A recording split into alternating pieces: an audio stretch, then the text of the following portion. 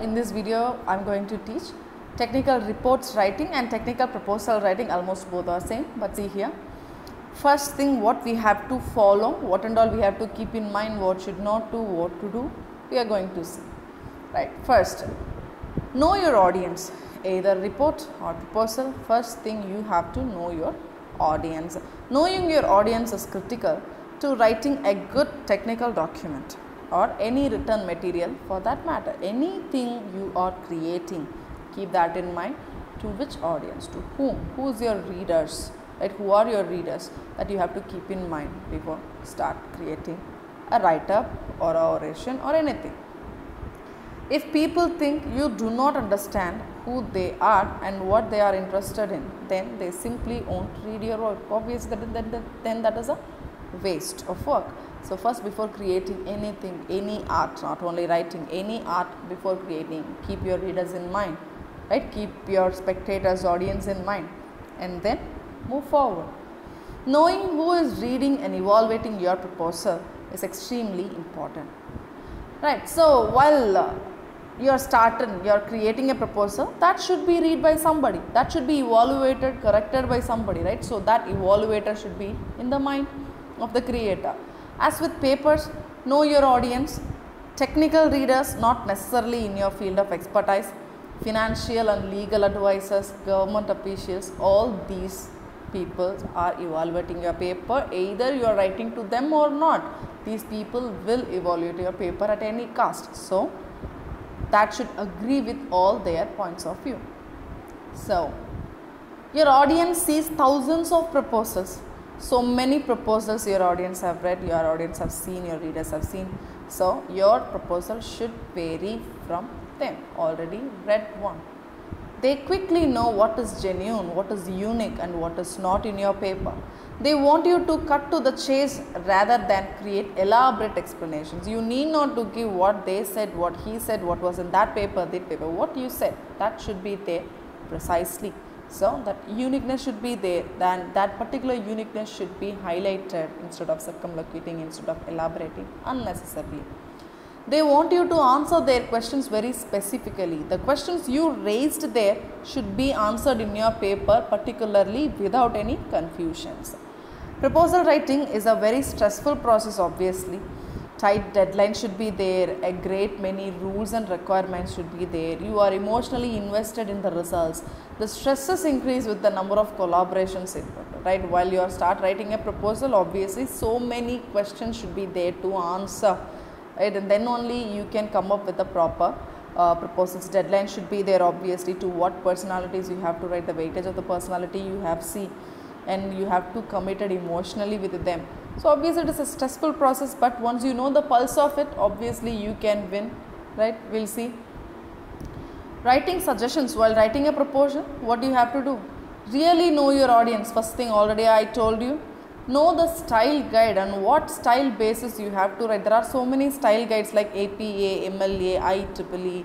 So, so those are the style guides or these guides tells you uh, to uh, how to write and what spacing and uh, like uh, uh, literature review all these things what and all you have to do these guides will tell regarding only the style of your writing not the idea of your writing that we have to create.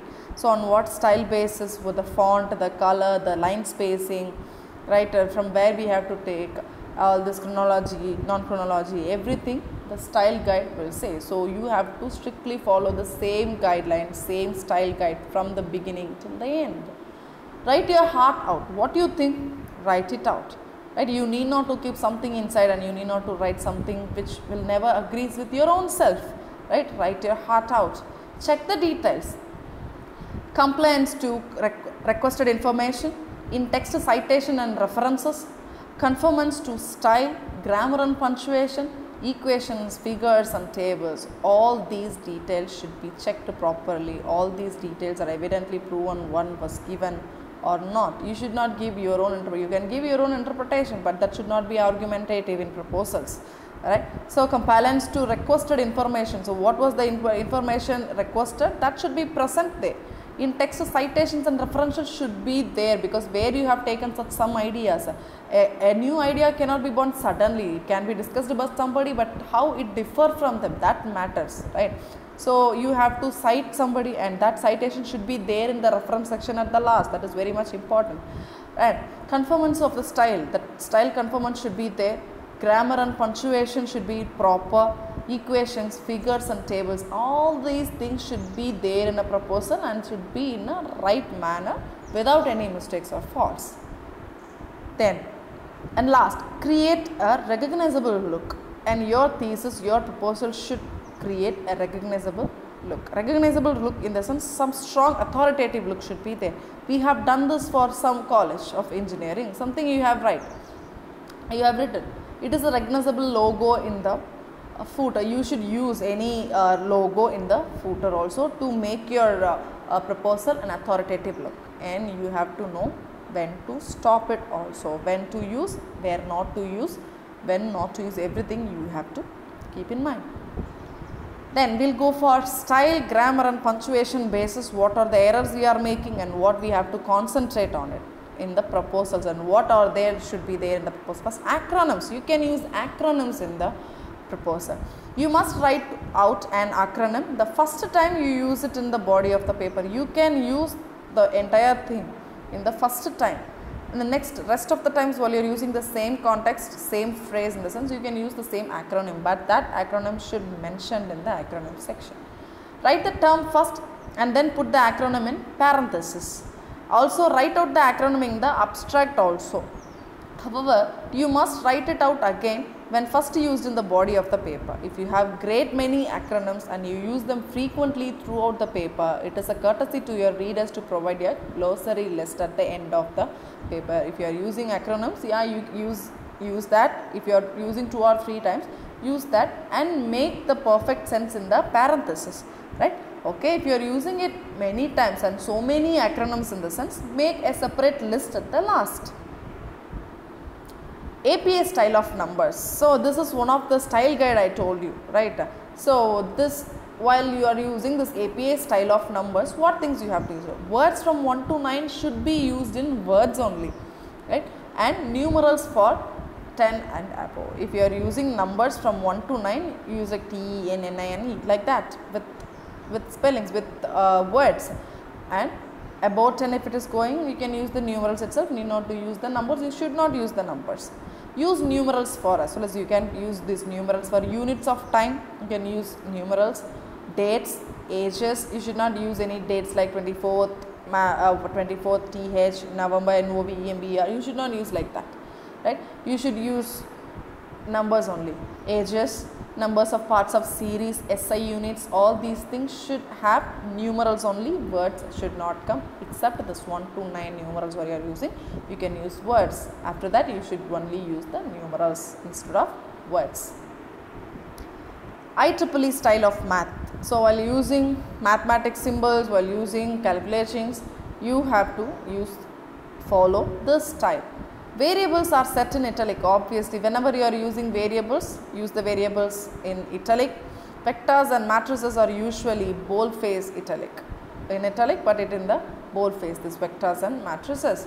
Remove commas around variables and texts where and all you are using these variables don't use commas. Always add a 0 before a decimal but do not add after right a decimal if, if you are, you are using a number with decimal before it should oh, uh, 0 should come after that you should not use any zeros. Spell out units in text without quantities where the noise is gi uh, given in decibels. Obviously, it should be spelled out. You should not use in the numerals. How much quantity? The entire quantity should be used there. You should not constrain it. You should not abbreviate it. You should have used the entire quantity. The entire quantity should be spelled out. Numbers and units used as compounds adjectives should be hyphenated only if needed for clarity obviously. So, whenever you are using this uh, uh, numbers and units and the compound adjectives like uh, like kb or uh, this inches, this uh, mms and all you have to use this hyphens right just for the clarity purpose. Use thin spaces instead of comma between numbers in tens or hundreds of thousands. See P usually while using 60 comma 30 we are using for 60,000 instead of using that comma you can make like this. While continuous numbers you are using you can you can avoid that comma because we are using that comma after the number right?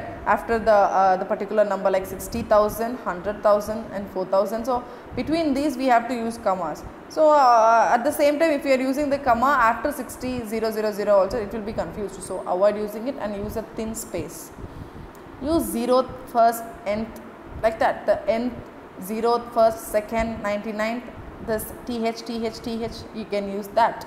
For instead of first second rt third you can use like that. Use the word equation at the start of the sentence only but in text just use the number unless describing the equation. So while you're describing an equation use just a number. First time if you so for example see darlington equation this is you are quoting for the first time you can use this darlington equation but use that one uh, next to it if suppose you are using this Snell equation in the second, use this too. Whenever you are using this Darlington and the Snell equation in further in the next next pages, in the further pages, you can you need not to use the, again the Darlington equation, the Snell equation, uh, the Pythagoras equation. Instead of that, you can use this 1, 2, 3 which was mentioned in the first usage itself. The slash is used in place of the word per. When it leads to the clarity of the sentence. The ratio of 16 samples to 35 samples as compared to the samples per S per S actually per sample is 16 samples per sample. So, whenever you are using this per use slash instead of using this per. Use indices instead of indexes when referring to subscripts. So, you have to use this word indices not indexes plural variables should come with an es. So, whenever you are using this plural variables, whenever you are using this variables go for italic, whenever you are using this plural variable use s. So, these are the things you have to use while you are following this IEEE math. Go through it. You have to memorize these things while you are uh, uh, going to present a paper or going to start creating a proposal. These things are like a mantra for paper writers, right, for presenters colons and semicolons. This is a very common issue with the engineering documents obviously because most papers and proposals include difficult concept and equations. It is very important to use commas and semicolons correctly in order to help the reader. Avoid the overuse of parentheses. Again, this will cause brain freeze. You will, they will confuse where the parentheses are start, where the normal statement has start. So, don't use parentheses. Instead, you can explain it in the normal way. After you have written your paper, read it as if you were the audience and try to break up the longer, more difficult sentences and paragraphs. There should not be a longer statement. Why? Because while the reader reads in the sense that may, they will they will move out of the way. They will go out of the idea what you are going to convey. So don't ever miss that. Don't ever frame long sentences, long paragraphs. Break that into two. That will help the readers to get to your points. Hyphens if a noun is the object of the sentence, then the modifier before it is not hyphenated, it should not be hyphenated. See the diameter of the glass tube was 10 mm. If it is coming this 10 mm, okay you can. But after that 10 mm something you are using, the noun you are using in the sense obviously the 10 and mm between you have to use a hyphen. If the noun is a part of the modifying phrase then hyphenated. The glass tube had a 10 mm diameter. So the diameter is the here the adjective which tells about this 10 mm right. So, at the time you have to use this hyphen that is an EG. So, instead of using this IE and EG for example and that is these are the Latin phrases. Engineering writing is very complex and hard to follow. In Latin IE means that is and IGEG means for example instead of using these things you can use that is and for example itself in uh, in the papers. It will be easier on the reader if you simply use the English words instead of the Latin acronyms. That and which that we have to use where we are using essential information, where we are producing essential sentences, but which we are giving some extra that time you have to use the switch, but whenever you are using the switch you have to put comma. See that is used with the restrictive phrases phrases that are essential to the sentence which is used with non-restrictive phrases, phrases that are not essential to the sentence. So, when you use which a comma should proceed with it. So, you have to use a comma with which but not with that. different and various. When you are going to say only to mention two things you can use this different. Let's see different is the best used in the context of two dissimilar uh, items but several various dissimilar items. You have to use this various with more than one. Several types of items. More than two more than three at the times you can use this various but you should not use this, this different. And various cannot be used only to uh, mention two different items. When you while you are using these two different items use different. When you are using more than two different items in the sense several items in the sense go for various. So please try to avoid long long sentences.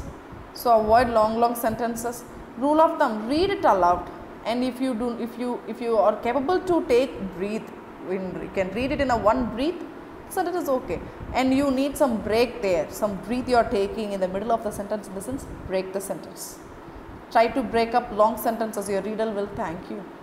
Long long paragraphs. One paragraph for one thought idea. I already told you in organizing principles of paragraph one paragraph should contain only one thought. If your paragraphs are too long a key idea might be missed. Obviously they will lose the idea right? They will go out of the path. You cannot control the readers so make precise paragraphs also your readers give up trying it too so these are the things you have to keep in mind and finally Technical writing for papers, reports and proposals have little changes actually or much taken actual research. Different writing styles can be followed in papers, reports and proposals. Keep your readers in mind every time. Comply with the journal style guidelines. So, the reader's idea and style guidance all these three are very much important in creating a proposal as well as the report both are almost same right. So, go through it and you have to memorize certain things here that will help you to any time at any time while you are creating a paper or presenting in a seminar or a conference or anything. So, whenever you are creating a new work, so these styles should be followed, these things should be followed to present things. So, keep that in mind, go through it. If you have any doubt, kindly let me know, I will clarify. Thank you.